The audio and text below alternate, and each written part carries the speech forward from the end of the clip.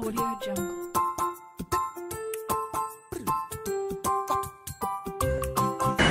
Hi, we are from Subbiah Vidyalayam Girls High Secondary School, Thoothukudi, Tamil Nadu. I am Jay Dharni from 9th standard. I'm Rihanna from 9th standard. I'm Srinidhi from 9th standard.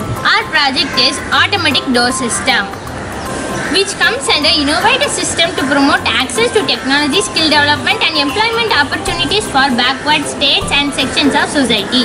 During this pandemic situation, in some shops there are no automatic doors, which means we have to open the door using our hands. And this also may increase the spread of the virus. To prevent the spread of virus, we have designed a robot with Lego EV3 kit. If a person come nearby, the door automatically opens.